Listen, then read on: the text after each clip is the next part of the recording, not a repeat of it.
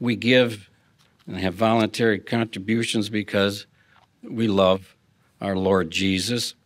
And notice what he stated here, John chapter 14 and verse 23. In answer, Jesus said to him, If anyone loves me, he will observe my word, and my Father will love him, and we will come to him and make our dwelling with him. So, appreciate how Jesus put it, if.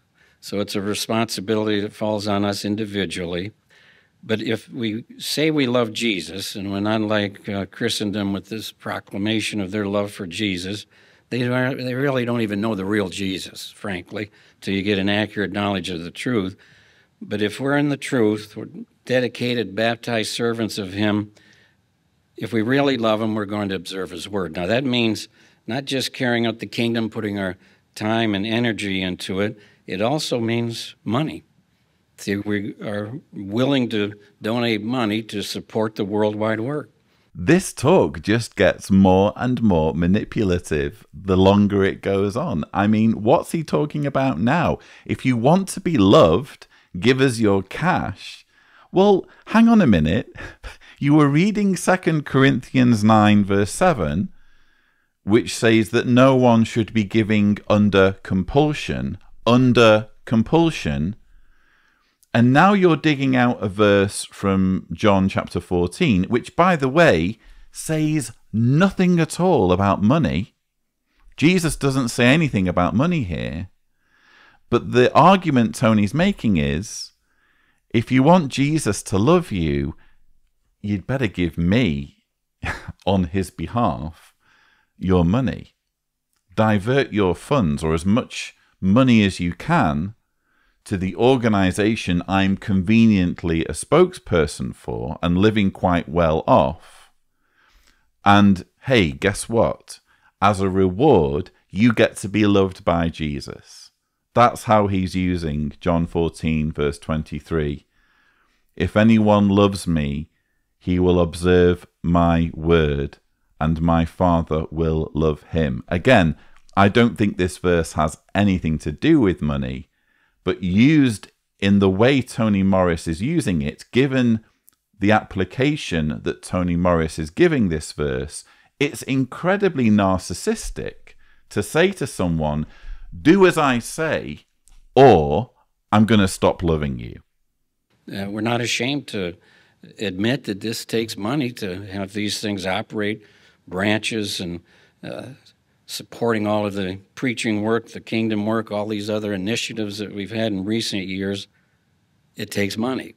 Uh, you can't go to people that you buy things from and say, well, look, this is a nonprofit organization, trying to shame them and what can you give it to? No, they want their money uh, to be paid for the various things that we have to use to accomplish Jehovah's work. So, something to keep in mind those three things there uh, our love for Jehovah, we want to do what's pleasing to Him.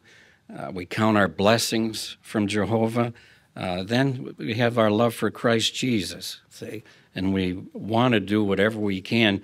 So, how you do it with the financial contributions, that's a personal decision. And Jehovah dignifies us with that. We never want to be shaming somebody that we think they should be doing thus and so. That's a personal matter. But keep in mind, sometimes if you are poor, remember the widow. So she didn't come there to the uh, temple empty handed. She didn't have much, but Jehovah loved her. Jesus loved her for giving what she had. So even when we're poor, we're expected to give uh, monetarily. And it's because we love Jehovah, love Jesus, and we appreciate all the blessings we've received during the year and uh, are grateful. I'm not so annoyed at the thought of most Jehovah's Witnesses in well off countries watching this talk and feeling pressured to give their money. I'm really more annoyed, enraged even, at the thought of, again, Jehovah's Witnesses in poorer countries where they really are living hand to mouth and they have nothing already. The thought of Jehovah's Witnesses in this situation, at this level of desperation, watching this JW broadcasting episode, perhaps at their local Kingdom Hall or at the home of another witness on their TV, and feeling as though they owe the organization their money, even though they really need to be keeping hold of it and using it for themselves. That's what really enrages me about this talk. Most of the rest of it, I can kind of shrug off and, in fact, take some delight in.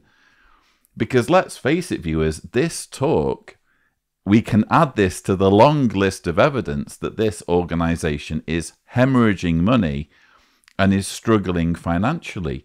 I'm sorry, the organization I grew up in would have nothing to do with this sort of rhetoric. This is not the religion that I grew up in. We always held to the Charles Taze Russell mantra that there would never be any begging and that if people gave money, it would always be voluntary. Well, how on earth can you say this isn't begging when it's repeated, when it's in talk after talk, video after video? By the way, you have this privilege of giving money.